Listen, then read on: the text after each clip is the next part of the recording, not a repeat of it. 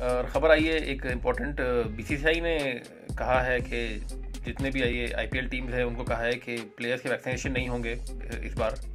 और अभी कुछ दिन पहले दिल्ली कैपिटल्स के ने लिखा था बीसीआई को। उन्होंने मांग करी थी कि प्लेयर्स के वैक्सीनेशन हो जाएँ, लेकिन अभी बीसीआई ने मना कर दिया है। और, पर ये बीसीआई ने ज़रूर कहा है कि बबल इंटीग्रिटी मैनेजर्स अपॉइंट किए जाएँगे। और जो ब्रीच जो होगी, अगर ब्रीच होती है, उसको कोई ब्रीच अगर करता है तो उसको रिपोर्ट करने के लिए। बाकी दस दिन का बहुत स्ट्रॉन्ग बहुत कड़ा क्वारंटाइन होगा आइसोलेशन होगा बेसिकली जो अगर कोई प्लेयर पॉजिटिव पाया जाता है, और टेस्टिंग प्रोसीजर होगा बहुत स्ट्रिक्ट था। तो ये अभी सेकेंड सक्सेसिव आईपीएल है कोविड के टाइम पे। तो लास्ट टाइम तो अच्छा करा था बीसीआई ने यूएई में हुआ था। इस बार इंडिया में है। नौ अप्रैल से तीस मई मई के बीच में खेला जाएगा, और छः वेन्यूज़ पर है। तो काफ़ी चैलेंजिंग टास्क रहेगा, लेकिन बी ने पास में भी बड़े अच्छी तरह से टूर्नामेंट से ऑर्गेनाइज करे हैं।